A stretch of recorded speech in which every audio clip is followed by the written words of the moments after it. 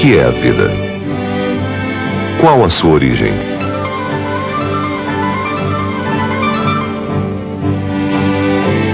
Há 4 bilhões de anos não existia vida sobre a Terra. Nosso planeta era um deserto em chamas, de erupções rochosas e gases venenosos.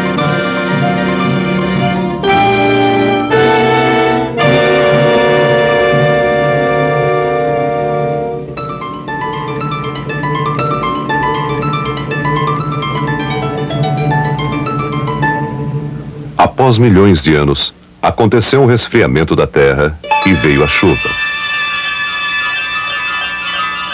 E com a chuva, quantidades imensas de substâncias químicas caíram sobre o planeta, formando assim o primeiro oceano. Uma espécie de caldo espesso, quente e químico. Chuvas fortes e intermitentes bombardearam toda a superfície.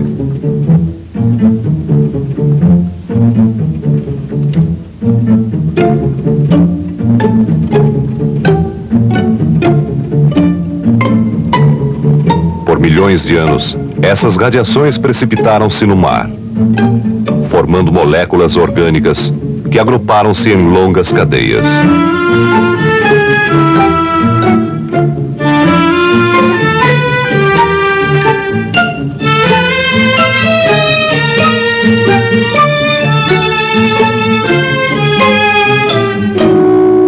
Proteínas e outros componentes químicos de alguma forma uniram-se, criando um grande número de bolhas viscosas. As moléculas de água circundantes prenderam-se firmemente ao redor de cada bolha, formando uma película protetora.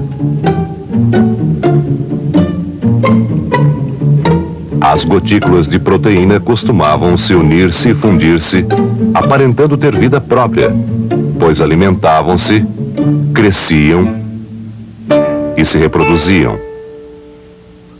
Porém, ainda não havia vida.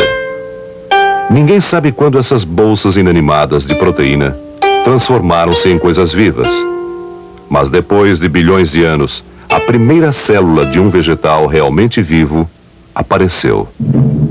A primeira minúscula centelha de vida propriamente dita.